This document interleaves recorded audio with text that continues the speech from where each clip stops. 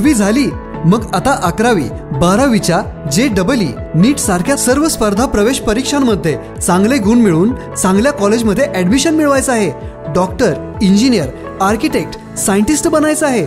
मग त्यासाठी तुम्हाला गरज आहे योग्य मार्गदर्शन उत्कृष्ट टीचिंग क्वालिटी उत्तम इन्फ्रास्ट्रक्चर आणि नेहमीच नेत्रदीपक निकाल असणाऱ्या अकॅडमीची म्हणजे Shri Rajlakshmi royal academy of सायन्सची.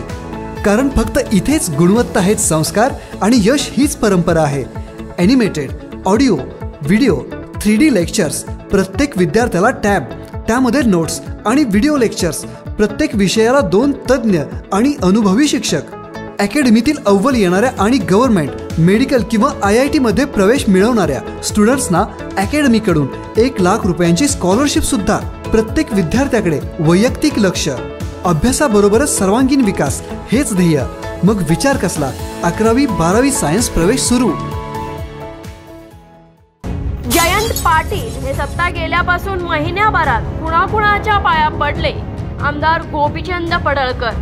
जत येथे भाजपचे माजी तालुका अध्यक्ष सुनील पवार यांचे लहान बंधू तथा तेलंगणा राज्य हॉलमार्किंग असोसिएशनचे राज्याध्यक्ष विनोद रावसाहेब पवार यांचा वाढदिवस माजी आमदार विलासराव जगताप व आमदार गोपीचंद पडळकर यांच्या शुभ हस्ते संपन्न झाला.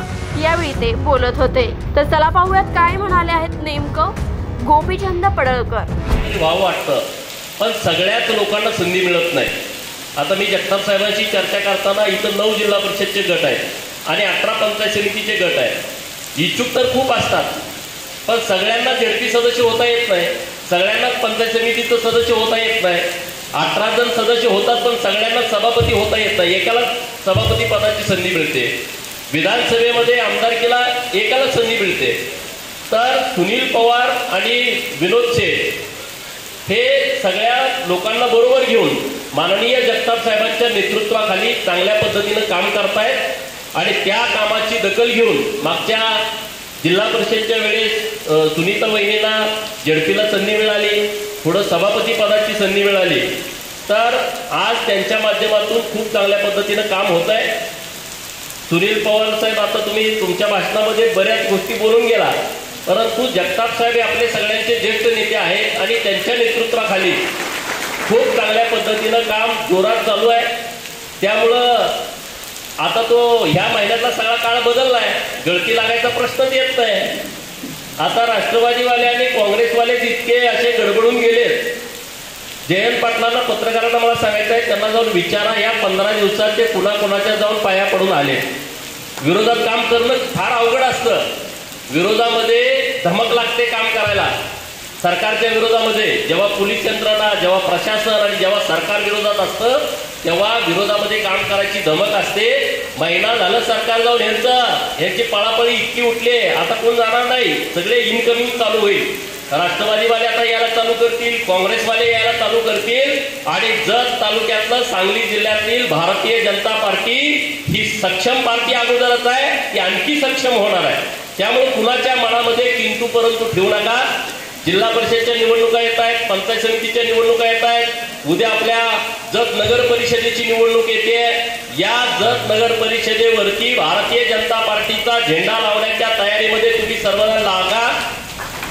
माननीय जगताप साहेबांच्या नेतृत्वाखाली या नगर परिषदेची सत्ता ही भारतीय जनता पार्टीच्या ताब्यामध्ये निश्चित येईल आणि जिल्हा परिषदवरती झेंडा लावण्यासाठी जत तालुका मिरज तालुका वाळवा तालुका हे सांगली जिल्ह्यातले जे मुख्य तीन तालुके आहेत या तालुक्यामध्ये नऊ दहा अकरा अशा पद्धतीच्या झेडपीच्या सीट आहेत. आता आम्ही आटपाडी तालुक्यातून येतो तर चारच सीटा तिथं लढायला दिसतात खानापूर तालुक्यामध्ये तीन सीट आहेत. म्हणजे हे जे मोठे लोकसंख्येनं जे तालुके आहेत या तालुक्यामध्ये आपल्याला जास्तीत जास्त जिल्हा परिषदचे मेंबर निवडून आणावे लागतील. आणि म्हणून आज विनोद शेठ यांच्या वाढदिवसाच्या निमित्तानं त्याला तर आपण शुभेच्छा देऊच. पण आपण संकल्प करू भारतीय जनता पार्टीचे सर्वच्या सर्व उमेदवार जत तालुक्यातून कसे निवडून येतील ज्या लोकांना जे विरोधात काम करतायत त्या सगळ्या लोकांना पण बरोबर कशा पद्धतीला आणता येईल? भारतीय जनता पार्टीचा विचार लोकांच्यापर्यंत कसा पोहोचवता येईल? यासाठी आपण सर्वजण भारतीय जनता पार्टीचे कार्यकर्ते म्हणून आपण निश्चितपणे कामाला लागू. राज्यामध्ये हे सरकार आल्याच्यानंतर तुम्ही बघितलं प्रत्येक कॅबिनेटमध्ये काहीतरी चांगले निर्णय होत आहेत जेवढे अडीच वर्षामध्ये निर्णय झाले नाही तेवढे निर्णय या महिन्याभरात घेण्याचं चांगलं काम हे माननीय शिंदे साहेबांनी आणि फडणवीस साहेबांनी केलाय. त्यामध्ये जनतेतून सरपंच त्यामध्ये जनतेतून नगराध्यक्ष मार्केट कमिटीला सर्व शेतकऱ्यांना मतदानाचा अधिकार पन्नास हजार रुपयाचं ज्या शेतकऱ्यांनी नियमित कर्ज भरलंय. त्या सगळ्या शेतकऱ्यांना पन्नास हजार रुपयाचं प्रोत्साहन अनुदान देण्याचा निर्णय या सरकारनं घेतला. आता जिथं जिथं मोठ्या प्रमाणात पाऊस चालू आहे त्या सगळीकडचे पंचनामे होत आहेत. त्यांना सुद्धा मदत आता सरकार काही दिवसामध्ये घोषित करेल. म्हणजे सर्वसामान्य लोकांना बरोबर घेऊन चाललेले सरकार आहे. मोदी साहेबांचा निर्णय तर तुम्ही बघताय. या आठ वर्षामध्ये जे काम केंद्र सरकारनं केलंय आता पंच्याहत्तरावं वर्ष आपलं. स्वातंत्र्याचं. तर आपण बरीच मुलं आता इथं एज्युकेटेड सगळी मुलं बसलेली आहेत. या पंच्याहत्तर वर्षामध्ये भारतीय जनता पार्टीचं सरकार केंद्रामध्ये असताना जे काही निर्णय झाले तितके निर्णय काँग्रेसचं सरकार असताना या देशामध्ये होऊ शकलं नाही आहे हे आपण सगळ्यांनी व्यवस्थितपणे नीट अनुभवलं पाहिजे. केंद्र सरकारचं जे देशातलं सर्वसामान्य लोकांना मदत करायचं जे धोरण आहे ते धोरण आपण सगळ्या मुलांनी केंद्राचे सगळे निर्णय समजून घेऊन आपण जे लोक आपल्याला विरोध करतात त्या लोकांना आपण विचारानं समजून सांगितलं पाहिजे. की नेमकं भारतीय जनता पार्टीची भूमिका काय आहे? भारतीय जनता पार्टीचं नेमकं ध्येय धोरण काय आहे? भारतीय जनता पार्टी घराणेशाहीला मानत नाही. भारतीय जनता पार्टी सर्वसामान्य कार्यकर्त्यांना संधी देते. आज तुम्ही सगळ्या देशातला जर विचार केला तर घराणेशाहीला केंद्रबिंदू स्थानी मारून काम करणाऱ्या अनेक पार्ट्या आहेत पण भारतीय जनता पार्टीमध्ये तसं होत नाही. आणि म्हणून सर्वसामान्य कार्यकर्त्याला संधी मिळते. या सभागृहात बसलेला एखादा तरुण मुलगा हा झडपीचा मेंबर उद्याचा असू शकतो. एखादा मुलगा पंचायत समितीचा सदस्य असू शकतो. एखादा मुलगा गावचा सरपंच असू शकतो. एखादा मुलगा सभापती झडपीचा अध्यक्ष असू शकतो. हे फक्त आणि फक्त भारतीय जनता पार्टीमध्ये होतं. त्यामुळे सुनील पवार साहेब तुम्ही या पार्टीचे तालुक्याचे अध्यक्ष म्हणून काम केलं आहे आणि आपण भाग्यवान आहोत की जगामध्ये सर्वात जास्त सभासद असणारी आपली पार्टी आहे. आणि या पार्टीमध्ये लोकशाही चालते. इतर पार्टींची बोंबलदेत लोक. भारतीय जनता पार्टी लोकशाही मानत आहे भारतीय जनता पार्टी लोकशाहीच्या विरोधात काम करते. भारतीय जनता पार्टी संविधान बदलायला चाललंय. हे कोण म्हणताय राष्ट्रवादीवाले. ज्या पार्टीची निर्मिती झाल्यापासून आताच्या या क्षणापर्यंत राष्ट्रीय अध्यक्ष बदलला नाही. त्या पार्टीचा माणूस काय म्हणतोय? संविधान धोक्यात आलाय. त्या पार्टीचा माणूस काय म्हणतोय? लोकशाहीच्या विरोधात भाजप काम करताय. काँग्रेसवाले काय म्हणतायत एकोणीसशे अठ्ठ्याण्णव ला सोनिया गांधी काँग्रेसच्या राष्ट्रीय अध्यक्ष झाल्या. त्या दिवसापासून मी बोलतोय या क्षणापर्यंत सोनिया गांधी आणि राहुल गांधी. म्हणजे एक वेळ राहुल गांधींना अध्यक्ष केलं. याच्या याच्यापर्यंत पार्टीत गेलेलं आहे. आणि त्या पार्टीची लोक म्हणते आम्हाला लोकशाही मजबूत करण्यासाठी काम करायचं आहे. म्हणजे आता ह्याच्यावर विचार करा. एकोणीसशे अठ्ठ्याण्णवपासून आतापर्यंत जर भारतीय जनता पार्टीचे अध्यक्ष बघितले तुम्ही तर त्या अध्यक्षामध्ये राजनाथ सिंग साहेब आहेत. त्यामध्ये अडवाणीजी आहेत. त्यामध्ये बंडारू दत्तात्रय आहेत. त्यामध्ये माननीय नितीनजी गडकरी साहेब आहेत. त्यामध्ये अमित शहा साहेब दोन टर्म आहेत. आताचे जे पी नड्डा साहेब आहेत असे कितीतरी अध्यक्ष होऊन गेले. अठ्ठ्याण्णवपासून आता दोन हजार बावीस पर्यंत. परंतु काँग्रेस आणि राष्ट्रवादीवादी लोक अशी भूमिका मांडतात. शिवसेनेचं तुम्ही बघितलं पक्षप्रमुख तर पद दुसरीकडे जातच नाही. आणि त्यामुळं आपण सगळ्या लोकांनी आपल्याला या सगळ्या विचारानं पुढे जावं लागेल. आणि आपण विनोद शेठ यांच्या वाढदिवसाच्या निमित्तानं आपण सगळे कार्यकर्ते एकत्रित आलेलो आहे कोण नेता आहे कोण कार्यकर्ता आहे यामध्ये फरक नाही. आपण सगळे भारतीय जनता पार्टीचे कार्यकर्ते आहोत. तर जर तालुक्यामध्ये भारतीय जनता पार्टी सर्वसामान्य लोकांच्या पर्यंत पोहोचवणं त्यांचे काय प्रश्न आहेत आता आपलं सरकार आलंय. आता आपल्याला काय नुसतं बोलून चालणार नाही तर सरकारमध्ये आपण आहोत. लोकांचे नेमके प्रश्न काय लोकांना नेमके अडचणी काय आहेत? अधिकाऱ्यांच्याकडून त्यांना काम होतंय का? त्यांना काय त्रास होतोय का? कोणी अधिकारी एखाद्या कार्यकर्त्याची हॅरेसमेंट करतोय का? तर आपली जबाबदारी आहे. जगताप साहेबांना तुम्ही सांगा. तुम्हाला कधी वाटलं तर मला सांगा. आपण त्या अधिकाऱ्यांशी बोलू. त्या सगळ्या लोकांना न्याय मिळवून देण्याचा आपण प्रामाणिकपणे प्रयत्न करू. आता सगळी परिस्थिती बदललेली आहे. निश्चितपणे सांगली जिल्हा परिषद आणि प्रत्येक तालुक्यातल्या पंचायत समिती आणि काही नगर परिषदांची निवडणूक लागते. त्यामध्ये जत आहे त्यामध्ये विटा आहे त्यामध्ये इस्लामपूर आहे आष्टा आहे आणि तासगाव आहे.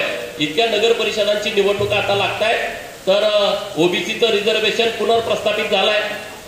कोर्टानं परत सांगितलं की ज्या ब्याण्णव नगर परिषदा जाहीर झालेल्या आहेत तिथं ओबीसीचं रिझर्वेशन लागू होणार नाही.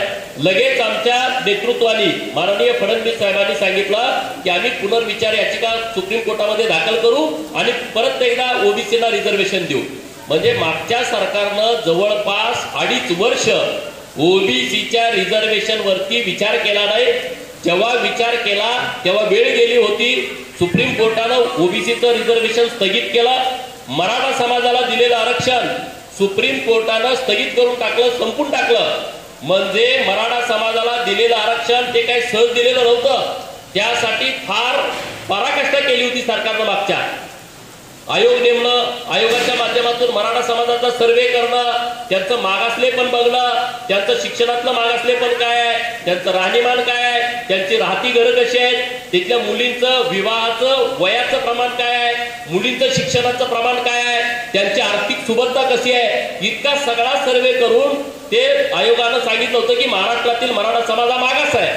परंतु सुप्रीम कोर्टामध्ये त्यांना तो आयोगाचं म्हणणं सुद्धा टिकवता आलं नाही.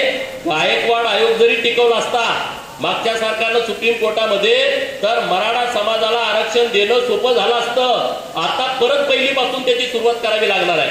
म्हणजे मराठा आरक्षण घालवण्यामध्ये एक नंबरवर होते ओबीसीचं रिझर्वेशन घालवलं हे सरकार आल्यानंतर दहा बारा दिवसामध्ये ओबीसीचं रिझर्वेशन मिळालं. का? ह्याच्यावरती आपण विचार केला पाहिजे. तिथं यांची मांडणी व्यवस्थित नाही.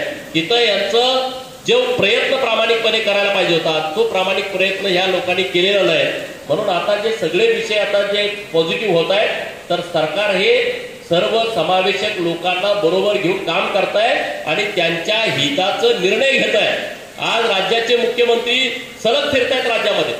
सलग लोकांच्या मध्ये आहेत. राज्याचे उपमुख्यमंत्री कोरोनाच्या काळामध्ये असेल मागचं महापूर असेल मागचं चक्रीवादळ असेल व्यक्तिवादळ असेल प्रत्येक विषयामध्ये ते लोकांच्या मध्ये गेले. पण सरकार आणि सरकारमधला मंत्री तिथं कुठे गेला नाही. जर तालुक्यामध्ये आता आपले अनेक विषय आहेत तर ते विषय मार्गी लावण्यासाठी माननीय विलासराव जगताप साहेबांच्या नेतृत्वाखाली आपण प्रयत्न करू निश्चितपणे जे राहिलेली काही कामं आहेत ती आपण येत्या काही काळामध्ये पूर्ण करून घेण्याचा आपण प्रामाणिकपणे प्रयत्न करू एवढंच या निमित्तानं बोलतो. परत एकदा माननीय विनोद सेठला मी मनापासून हृदयापासून हार्दिक हार्दिक शुभेच्छा देतो की तुमच्या आयुष्यामध्ये तुम्ही खूप यशस्वी व्हा. तुम्ही दोघं भाऊ खूप चांगल्या पद्धतीनं काम करताय सामाजिक क्षेत्रामध्ये काम करताय. आता लोकांची भावना झाल्या काहीतरी मिळावं आणि तुम्ही काहीतरी देण्याची भूमिका ठेवताय. की बाबा आपलं काही झालं तर चालेल पण आपण लोकांसाठी काम करावं. तर असे कार्यकर्ते मिळणं पार्टीला ही सुद्धा फार महत्वाचं असतं. तर भारतीय जनता पार्टीच्या वतीनं मी तुम्हाला दोघांनाही खूप खूप शुभेच्छा देतो आणि खूप चांगल्या पद्धतीनं आपण जगताप साहेबांच्या नेतृत्वाखाली या तालुक्यामध्ये भारतीय जनता पार्टी लोकांच्या पर्यंत पोहोचवणं आणि लोकांना आपण जिल्हा परिषद आणि पंचायत समिती काय आपल्यासाठी नको आहे. लोकांचं काम करण्यासाठी आपण त्या निवडणुका ताकदीनं लढवण्याचा संकल्प आपण विनोद शेठ यांच्या वाढदिवसाच्या निमित्तानं करूया. एवढंच या निमित्तानं बोलतो आणि थांबतो. जय हिंद जय महाराष्ट्र. धन्यवाद प्रवीण साहेब.